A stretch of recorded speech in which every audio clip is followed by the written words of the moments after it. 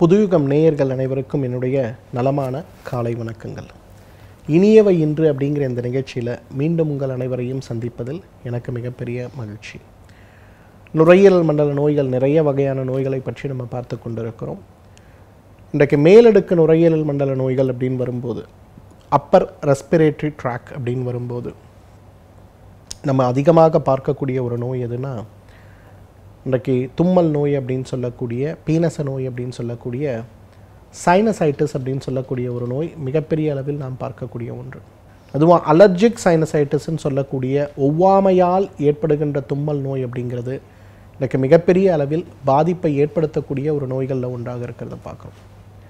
இன்றைக்கு எவ்வளவு முயற்சி செய்தாலுமே இன்றைக்கு நூற்றில் குறைந்தது முப்பது பேராவது சென்னை போன்ற மாநகரங்களில் இருக்கவங்க முப்பது பேராவது தினசரி காலை எழுந்த உடனேயே ஒவ்வாமைக்காக எடுக்கக்கூடிய ஒரு மாத்திரையை எடுத்துக்கொண்டு நாள்களை துவக்குவதை நாம் பார்க்கிறோம். என்ன செய்தாலுமே ஒவ்வாமை சம்பந்தப்பட்ட ஒரு காரணிகளை குறைப்பதற்கான மருந்துகளையோ மாத்திரைகளையோ எடுத்து மட்டும்தான் நாளை துவக்கக்கூடிய ஒரு தேவை நிறைய பேருக்கு இருக்கிறத பார்க்குறோம். காலை எழுந்த உடனேயே தும்மல் தும்மலை கொண்டு லேசாக மூக்கில் நீர்வடிய ஆரம்பிப்பது சிறிது நேரம் ஆக ஆக ஒரு குழாயில் தண்ணீர் துறந்து விட்டால் எவ்வளவு வேகமாக தண்ணீர் கொட்டுமோ அந்த அளவுக்கு வேகமாக தண்ணீர் கொட்டிக்கொண்டே இருப்பது. இது அனைத்துமே தினசரி நம்மை சுற்றி இருக்கக்கூடிய பத்து பேரில் ஒருத்தருக்காவது இருக்கிறத பார்க்குறோம் மூக்கு அடைப்பு தும்மல் மூக்கில் தண்ணீர் வடிதல் இதெல்லாம் நின்று போகும்போது கடுமையான தலைவலி தலைபாரம் தலைக்கு குளித்த உடனேயே தலை பாரமும் தலைவலியும் கொன்று விடுவது போல ஏற்படுவது. இதெல்லாமே நமக்கு சைனசைட்டஸ்ன்னு சொல்லக்கூடிய நமக்கு பீனச நோய் இருக்கிறது அப்படின்னு சொல்லக்கூடிய ஒரு அறிகுறிகள்னு சொல்லலாம்.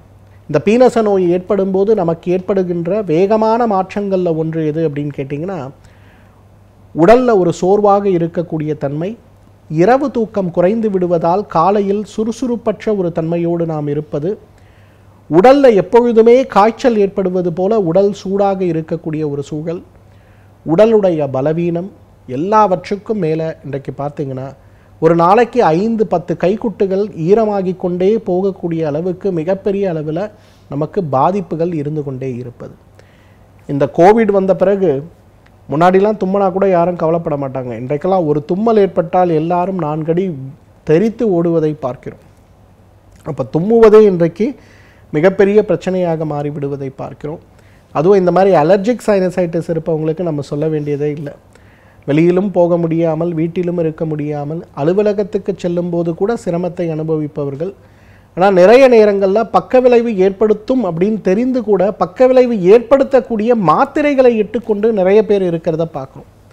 ஸோ இது சம்பந்தப்பட்ட பிரச்சனைகள் அப்படின்னு வரும்போது இதை மாற்றக்கூடிய அழகான முயற்சி எது அப்படிங்கிறத நம்ம பார்க்கணும் ஸோ இன்றைக்கு என்ன செய்தாலுமே மாத்திரை இல்லாமல் நாளையும் துவக்க முடியவில்லை மாத்திரை இல்லாமல் வெளியிலே போக முடியவில்லை அப்படிங்கிறவங்களுக்கு ஒரு சுலபமான கைமருந்து மிகச் சுலபமான மூலிகை தேநீர்னு கூட சொல்லலாம்.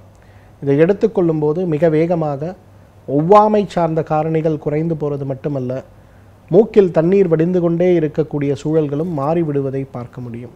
என்ன அந்த கைமருந்து? சுக்கு மிளகு திப்பலி நிலவேம்பு மற்றும் சரியானங்கை. ஐந்தே பொருட்கள் தான். சுக்கு மிளகு திப்பலி நிலவேம்பு சரியானங்கை.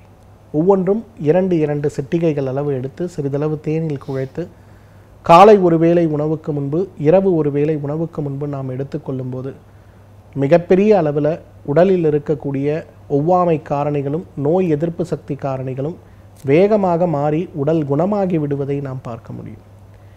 ஏன்னா இன்றைக்கு மிகப்பெரிய அளவில் உடலில் ஏற்படுகின்ற பாதிப்புகள் அப்படின்னு வரும்போது உடலில் ஏற்படுகின்ற பாதிப்புகளுடைய அடித்தளமாக நமக்கு ஏற்படுகின்ற பாதிப்புகளாக நோய் எதிர்ப்பு சக்தி குறைபாடு ஏற்படும் போது நேரடியாக மூக்கில் வடிகின்ற தண்ணீரையும் மூக்கில் ஏற்படுகின்ற தும்மலையும் கட்டுப்படுத்துவதற்கு பதிலாக நேரடியாக உடலுடைய ஆரோக்கியத்தை மேம்படுத்தக்கூடிய உடலுடைய கழிவுகளை முழுமையாக வெளியேற்றி உடலுடைய பலத்தை மாற்றக்கூடிய சுலபமான ஒரு கைமருந்தை நாம் உபயோகப்படுத்தினோமேயானால் பக்க விளைவற்று இந்த நோய் குணமாவதை பார்க்க முடியும்.